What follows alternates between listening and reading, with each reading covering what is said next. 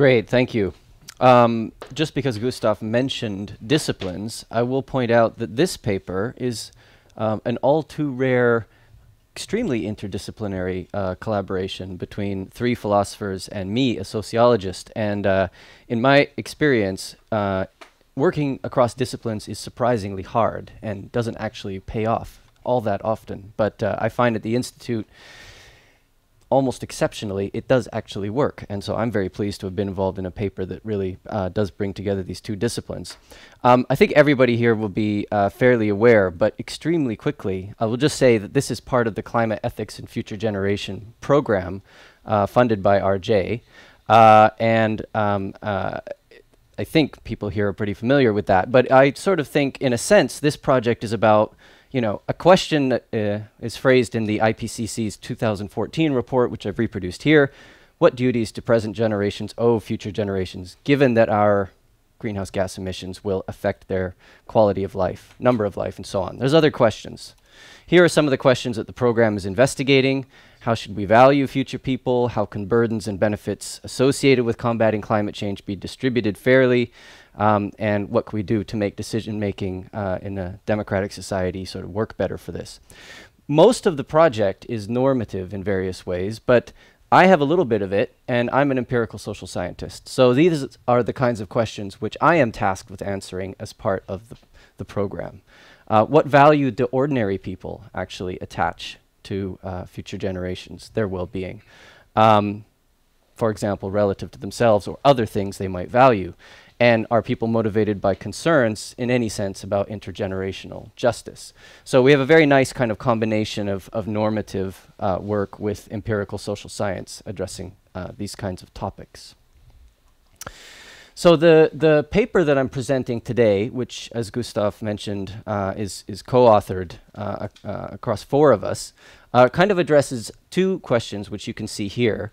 Uh, to what extent do lay people uh, value future generations, and in what's to what degree or to what extent is our collective failure really to do anything adequate about climate change thus far due potentially to a lack of concern about the well-being of future generations. Uh, as you know, the impacts of our greenhouse gas emissions will, um, well, they are clearly already having uh, severe impacts on the Earth with all the fires we're seeing in Western North America currently, for example. Uh, but the really heavy hit will, of course, come even later, and therefore people who aren't even born yet or younger generations will pay the, the, the greatest price.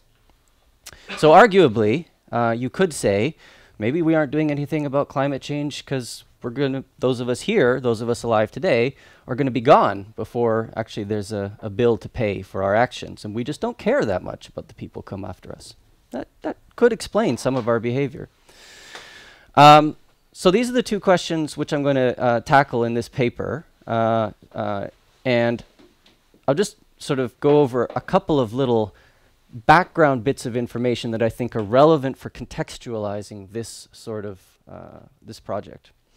Um, I would just point out that aside from climate change, it's been known for a very long time, uh, I would say, that one of the classic reasons why we have any environmental problems at all is that, in general, they have impacts on people who aren't yet here to represent themselves. So this is not uh, a super new idea, but it's obviously kind of come to the fore more, more strongly in recent years.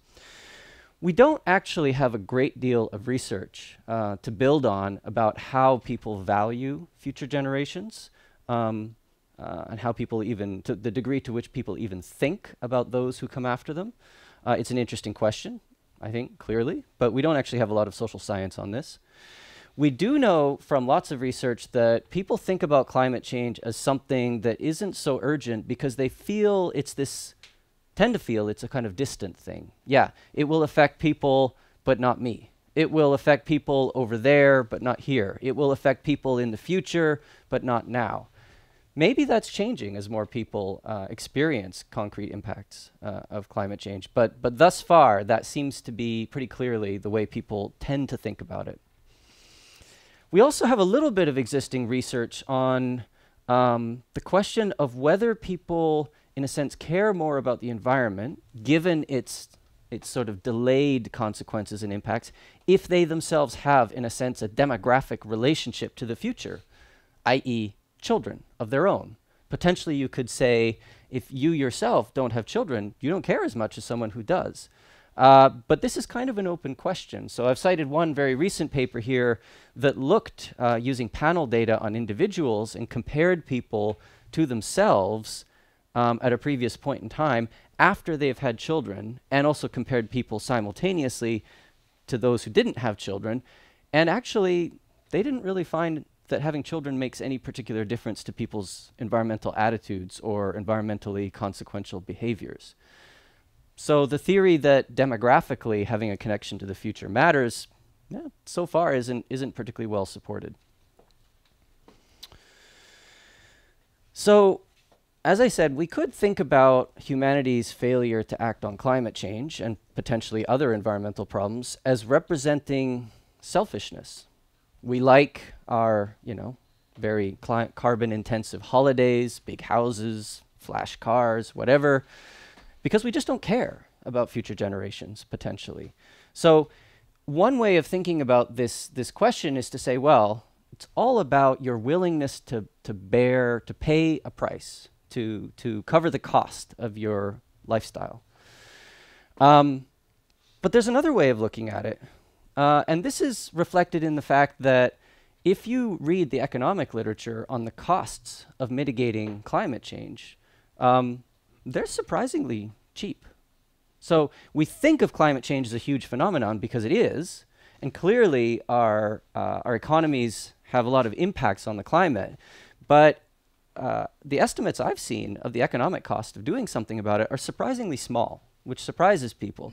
But if we actually put in place the right policies to do this, it would kind of be in the noise over the long term of economic growth. But even aside from that, there's another way we could think about the costlessness to us, potentially, of dealing with climate change, which is scholars like John Broome, uh, sort of economist philosopher, and Jeff Sachs, uh, an economist economist, say, well, we could even do something a little bit crazier and just literally give the, give the bill to people who are going to benefit if we reduce our greenhouse gas emissions. Let's just essentially do what needs to be done to serve their interests and just run up debt. We're going to give them some debt, but we'll also give them a really nice planet to live on. If they were here, future generations, to talk to us, they might say, eh, that's a fair deal. Particularly because, again, referring to the economics literature, future people supposedly are going to be a lot richer than us. So if you extrapolate, you know, world economic standards of living, potentially they're going to have the resources to pay that bill much more than we will, that we do. So therefore, you could say that failing to mitigate climate change is not a consequence of selfishness. It must be a consequence of something else because it, it, it wouldn't actually cost us anything to do it. So there's some other reason. Now, the second reason, then, that we explore in this paper is distrust. So imagine you do care about future generations, uh, and someone comes to you and says, I have a way we can do something to help those people. You have to believe that that person's plan will actually work.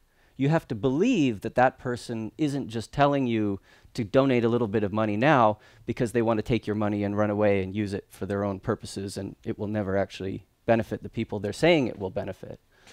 Um, and so we could look at attitudes towards future oriented policies as reflecting the level of confidence or trust you have in the functioning of society.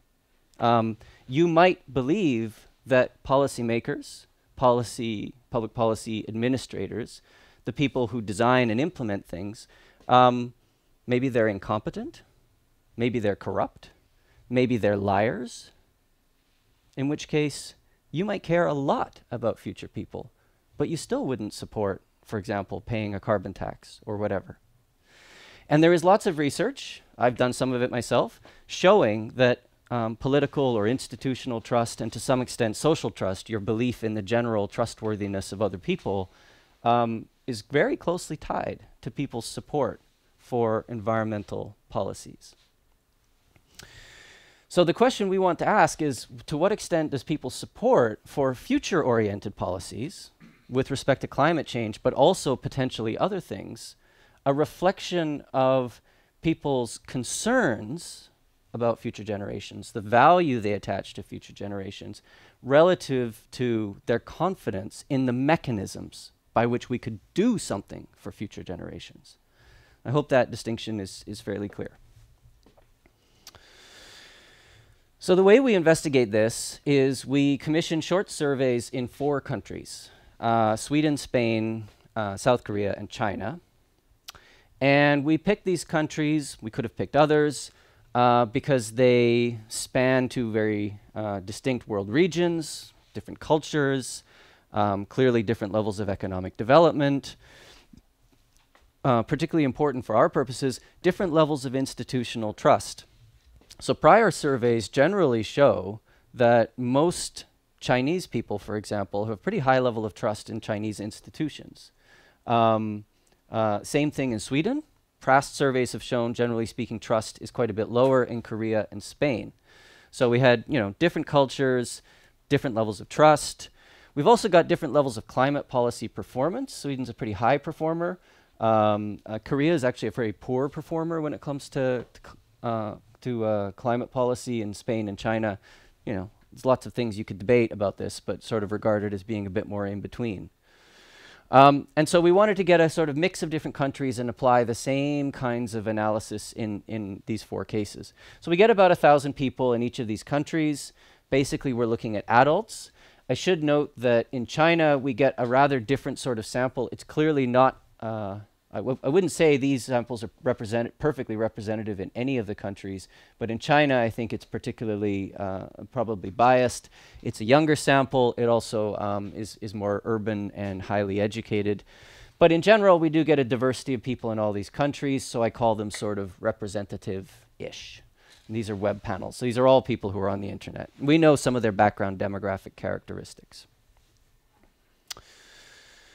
So we ask them a series of questions how much people think about future generations, how much they care, what they would support in terms of population change in the future. So part of the bigger climate ethics project uh, is to investigate population ethics. And one of the things we'd like to know is how lay people think about the value of population per se. We ask the respondents how willing they would be to sacrifice for future generations, how um, strongly they would support or oppose uh, a policy to sort of further the interests of future generations. And we randomly assign to them what that policy is. So some people get asked about a climate policy. Some people get asked about a policy to reduce national debt. So we wanted to see, would it make a difference uh, if, you if you ask people about very different kinds of ways of doing something for future generations. And within each of these two domains, we ask, for example, how you'd feel about a, a, a, new tax, like a carbon tax, or just some sort of generic tax increase to help pay down public debt. Cutting spending, we don't say on what, but just generally speaking, cutting public spending, or on the climate side, funding technology. Um, so some people, in answering our little mini survey, literally never hear the word climate. It's only all about debt policies. But some people, they get climate and they get climate all the way through. After this, they get a question about their confidence in how effective the policy would be. Um, finally, we get two questions about people's optimism about future changes in human living standards. I'll, I'll explain in a moment why we ask that. And then we have a series of four questions about people's trust in different major social institutions. So that's the sort of panorama of the questions let me just say that in addition to the global sort of research question I outlined earlier, asking these various things allowed us to investigate a variety of sort of more specific sub-questions, which I'll show you here. How does concern about the well-being of future generations differ across people with different demographic characteristics? Um, oh, what's oh, this has gone funky formatting. Okay, I'll have to read this. Sorry, something's gone strange. Um, we also wanted to find out how people um, how people's views of these different policies differ. Uh, we wanted to find out about the relative importance of values and beliefs in determining policy attitudes. So I've just explained, we ask people how much they support a policy that would um, uh, help future generations. What we want to do is try to assess the relative importance of this concern, uh, the value side, or the belief side, the trust in social institutions. Okay? Um, I think I can probably skip over the rest of this.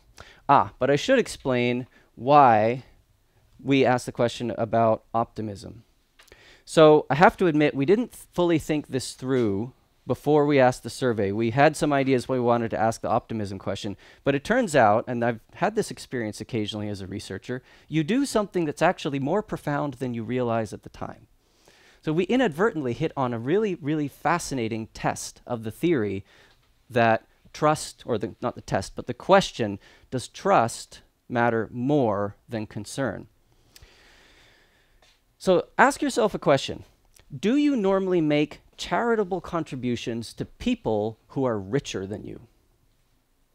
No. Generally speaking, we give charity to people who are poor. But imagine future generations really are richer than us. If I asked you now to make a voluntary charitable contribution to th the future, knowing that those people will be richer than us, how would you feel about that? You probably would be less willing to do it. So we might expect people with a more optimistic view of future living standards to be less willing to sacrifice for future generations because we don't donate to charities where the people are richer than us. On the other hand, we might also expect the opposite. We might expect people to be more willing to, to sacrifice for future generations if your willingness to sacrifice and your expectation about future changes in living standards are both a consequence of a third factor. And that factor is basically trust. Do you have confidence that social institutions basically work? That public administrators aren't just all lying, corrupt, cheating people?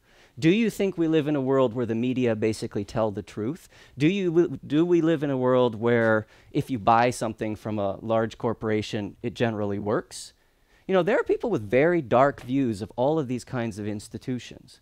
And so you could, you could actually expect people to be more willing to pay money to make a sacrifice for future generations because you actually are more confident that the world is functional and will continue to get better. Thus, the question about optimism. Um, uh, we're relying on self reporting. People could be telling us things that they know themselves aren't true, or they could even be telling us things that um, they they they in the moment feel like is true but isn't really true. So Tim made a big very big deal out of this when we were discussing this paper. He thought it was very important we acknowledge this could be this is just this is just what people say. So we don't really know if they value future generations. We're going on whether they say they value future generations. We're also not quantifying things at all. We're just asking people on sort of very simple answer scales, how much do you care, not very much, and so on. And the samples we've got are definitely not sort of perfectly representative. So I'm not going to make a huge deal out of any cross-national differences in the average level of different things. We can look at it, and I think there are actually some reasons to think we did capture some cross-national differences, but I wouldn't be you know, I wouldn't make super, super strong claims about that. So here's the question about thinking. How often would you say you think about the lives of future people who have not even been born yet? Uh, caring, how would you say, how much would you say you, you care or do not care about the future quality of life of people who have not been born yet? Here's where we start to get into some of our experimental treatments where we've randomly assigned people to different versions of questions. Okay, so each individual person, individual respondent, got only one version, one specific version, selected at random of this different question about people's attitudes towards increasing the population. And as you can see, what we did is we tried giving people statements effectively saying, think about it like this. You know, if a bigger future population were to mean a lower future standard of living, what would you say about it? If it were to mean um, people were still enjoying a high standard of living, what would you think about it? And what we, what we wanted to do with this was to try to figure out what is the relationship between people's expectations about the implications of population for standard of living and their support for increasing population per se? Here's our core question about people's willingness to sacrifice for the future. Would you be willing to reduce your standard of living so that people in the future can lead better lives? You could quibble with the language, standard of living, better lives. What does that mean? We're kind of using these terms all in a, in a fairly loose sense. Here's our policy support question. For example, the government could in place, put in place policies to reduce global warming. This could benefit people in the future, though it would have costs in the shorter term for people alive today. In other words, we're framing this as a cost. We're trying to get people to think about policies as a cost and then asking them how much they would support their, their governments doing that. And again, we gave people lots of different potential versions of this question to see what difference it makes, whether you refer to global warming or you refer, for example, to reducing national debt. Now, eh, those of you who are very well versed in economics and, and sort of you know the latest current thinking in macroeconomics and so on maybe would say, well, debt is an overrated issue. You know, it depends what you do. If you, sometimes taking on debt is actually good for the future because you're investing.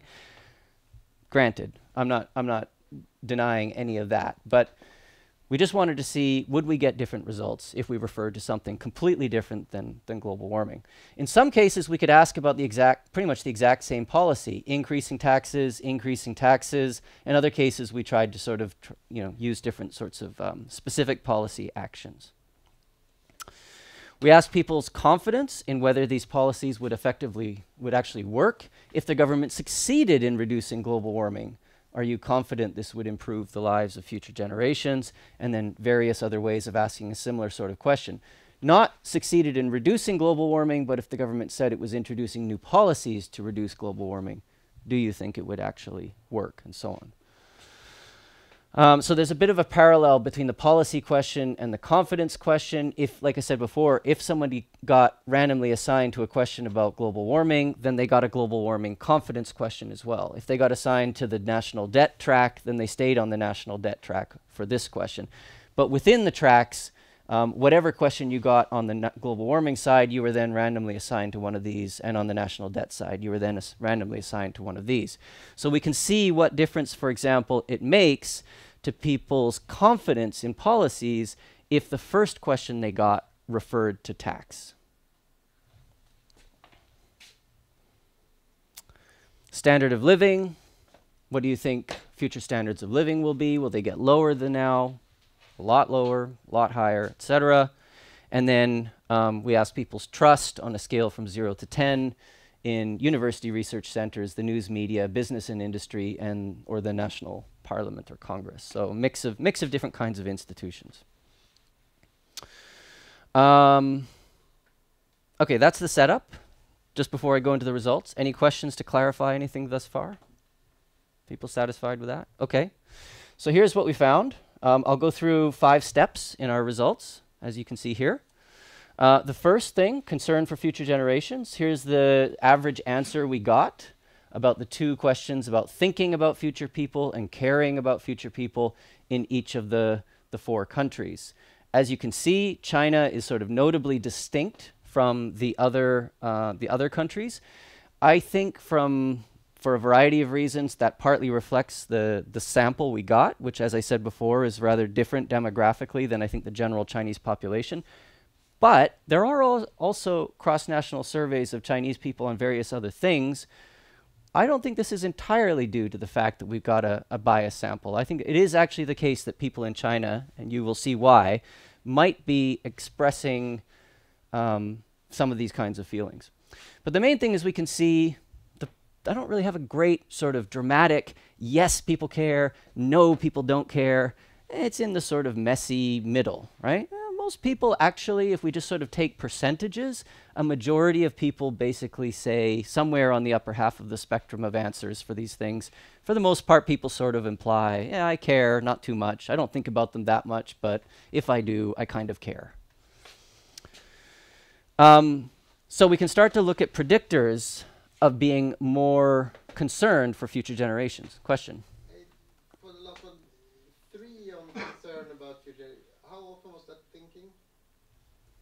Uh, s- uh, the the original question. Yes, what was what does three mean? Uh, I'd have to go back. Let's see. I mean, it's just it's just you know, it's just to try to get a sense of But it's been rescaled. to- yes. They've been they've been rescaled to a zero to ten because the next question was on a zero to ten scale. Sorry, so to make them comparable, I've just rescaled them to zero to ten. You know, I mean, you could look at this and say, well, that's not that.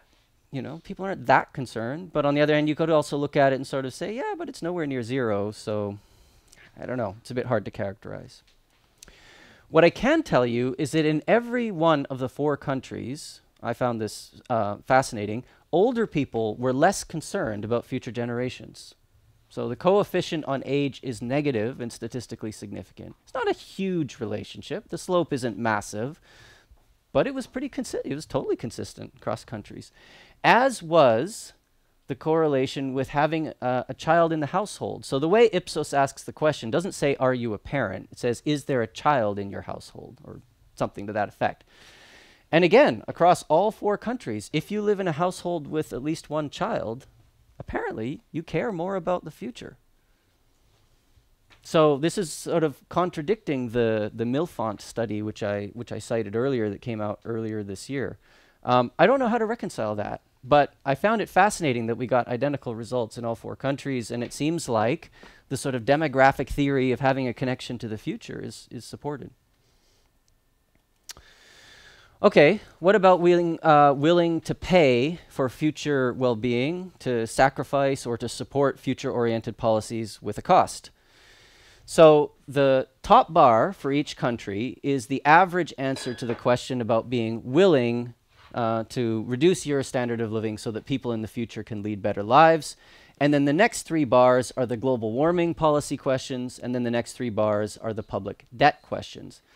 And what you can see is that um, Chinese people, again, kind of stand out. The other three countries aren't so distinct from each other. Again, support is kind of like, well, you know, depending on which country you look at, depending on which particular policy, it's sort of in the messy middle. People are not extremely hostile to any of these policies. They're not extremely supportive of any of these policies. Um, we can see quite consistently that tax isn't so popular as anything else. People don't like to pay taxes, even in Sweden, apparently. Um, people don't like the idea of uh, cutting public spending in order to reduce public debt. Uh, technology seems a bit more neutral. Um, so again, I can't give you a, a super clear. People hate this stuff. People love this stuff. It's it's kind of in the it's kind of in the messy middle. Um, it wasn't the case that for these outcome variables, uh, demographic predictors were as consistently uh, related as they were for the concern questions. So we didn't find that age and, and having children in the household were particularly good predictors of people's answers to these questions. Um, children, uh, it's it's it's a bit indicative. I wouldn't say it's quite totally consistent. It's not a totally sort of clear cut result. It's kind of there. Um, uh, as I said before, people were more supportive of policies uh, uh, that didn't involve taxes. Oh, and I didn't mention overall, people were a little bit more enthusiastic, the people in our sample at least, about policies for reducing global warming than they were about policies for reducing national debt. Maybe because the kind of people who are in online panel surveys tend to be, uh, you know, a little bit more kind of left wing, but not sure. Okay, so here we start to get into the analytically uh, uh, kind of more provocative thing, which is trying to weight the impact of concern or values against trust or people's beliefs about how the world works and how institutions function. So what we did is we uh, standardized our two-item uh, concern index and our four-item uh, trust index so that we can directly compare the size of the coefficients on these two things. Um, and what we see is that pretty much, I think in every case, wasn't, no, there was, no. So there's no exception. um, trust wins Trust is the stronger predictor. And that's true whether we, we just run a, a, regression model with those two variables alone, or if we throw in a whole bunch of control variables like demographics or which particular policy we're talking about or whatever. Um, so it seems like if we all we do is we take people's answers to the question about supporting these different policies, that trust is actually the strongest predictor of whether you support it or not. Um, do you trust these, these major institutions? So here you can sort of see also some of the other results I talked about before. If it's a tax that we ask, ask people about, the coefficient is negative, support is lower. Um, if it has to do with global warming, with the exception of Sweden, where it's not statistically significant, there's a strong difference that people prefer policies related to global warming rather than reducing debt. Having a child in the household, except in China, there's no relationship. Income isn't much of a story, education, gender. So that's kind of where we, we find the weight of our ability to predict people's attitudes towards doing something for the future is. Um, if we ask about confidence, remember I said we have a question about confidence that these policies will work.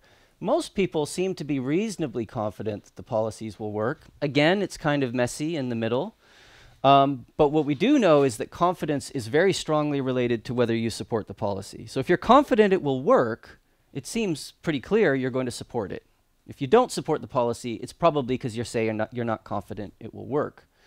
Confidence about whether the policies will work is also fairly strongly related to institutional trust. So do you think things in society actually work as they say they're going to work?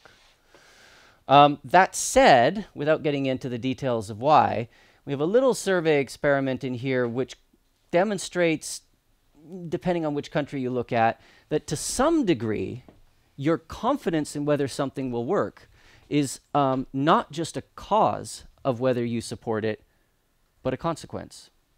So if I ask you a question about tax first, and then I ask you how confident you are some policy will work, even if it's not a tax policy, your confidence in some countries is a little bit lower. In other words, people are so spooked by the idea of paying a new tax that they actually grow less confident in other things. oh, sorry. I like to walk around, I'm sorry. Okay. Um, Right. Population, for the population ethicists in the room.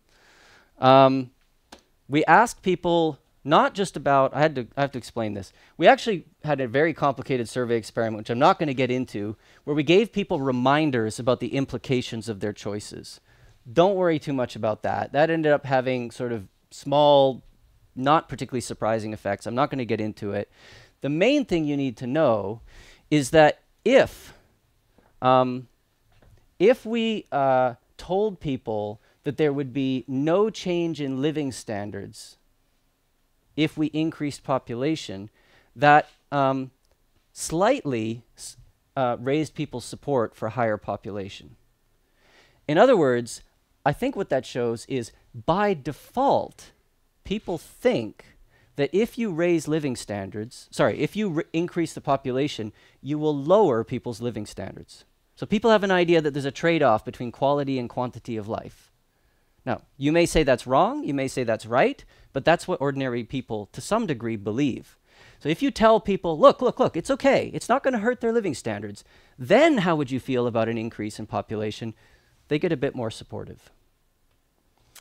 Um, we didn't find any consistent demographic predictors of attitudes towards increasing the population.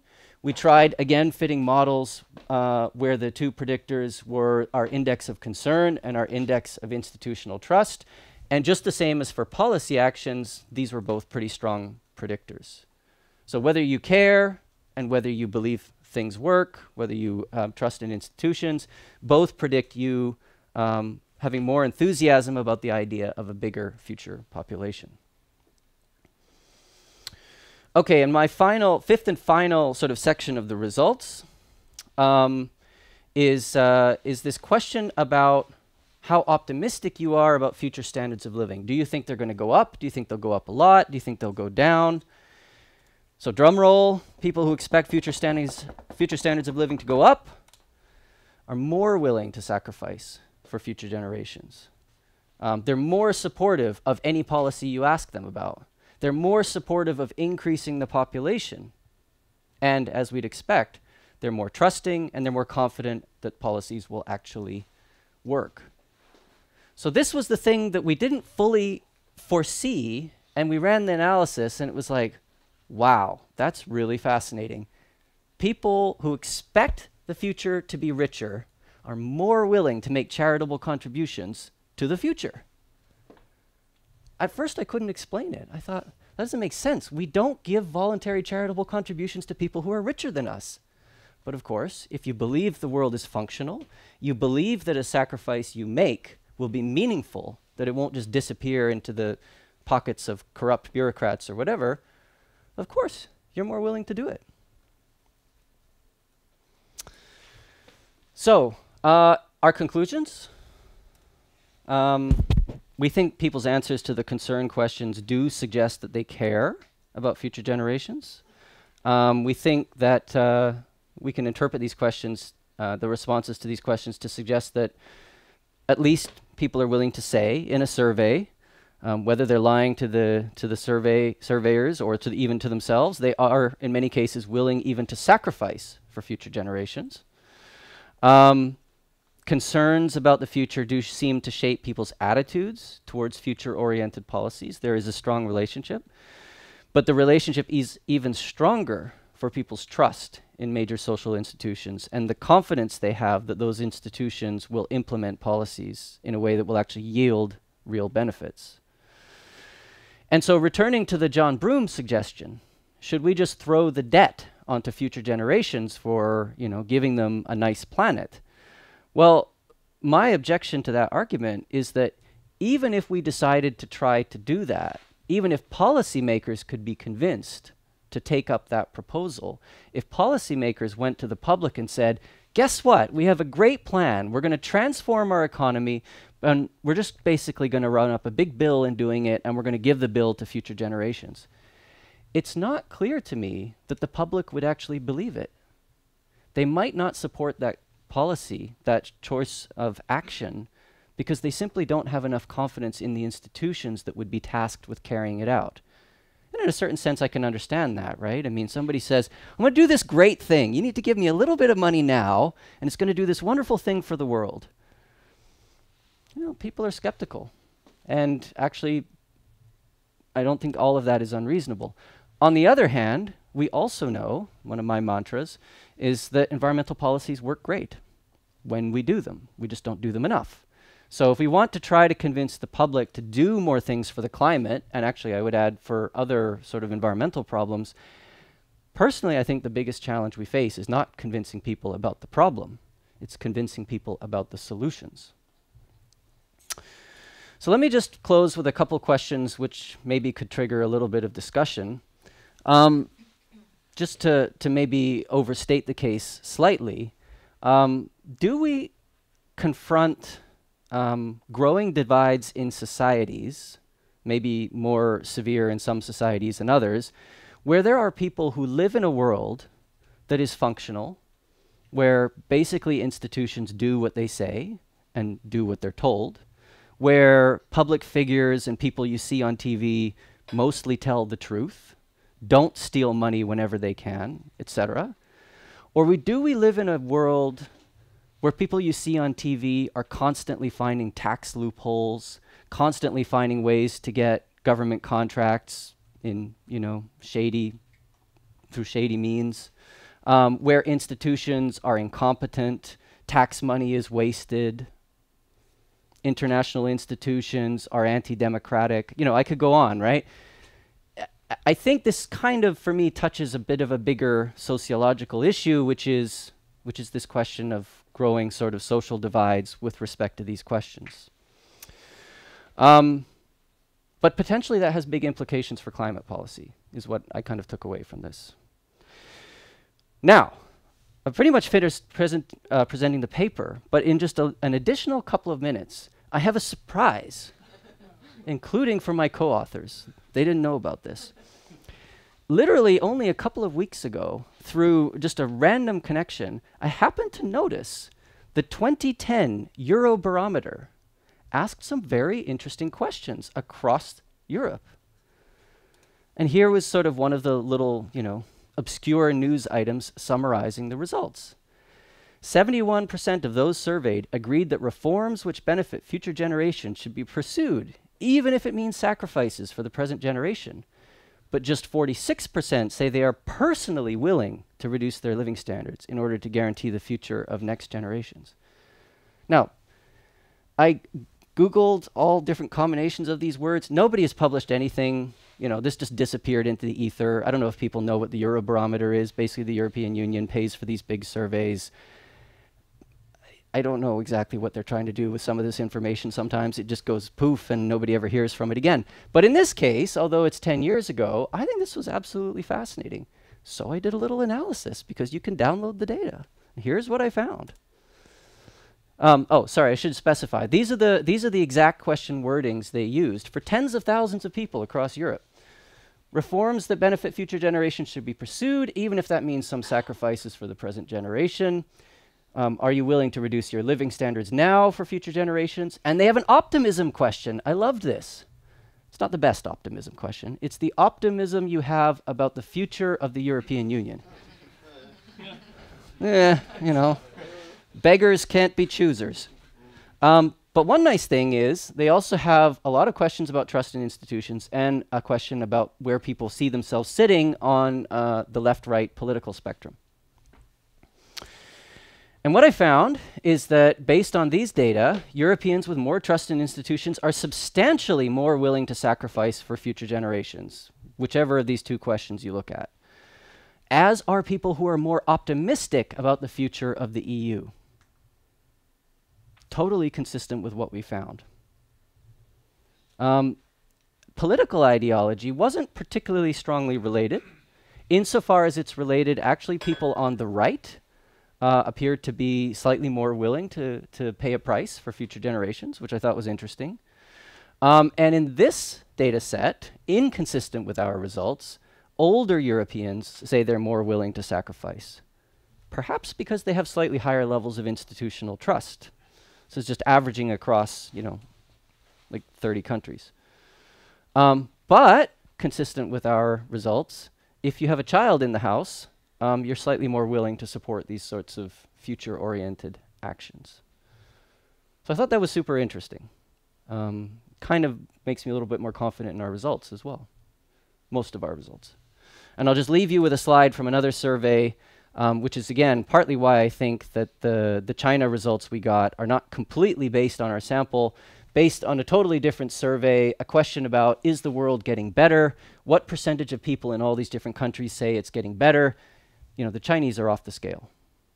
maybe that just reflects the fact that, you know, things in China in the last generation have been a pretty good news story. They're happy with how their society has changed, and maybe they just think it's going to keep going in the same way.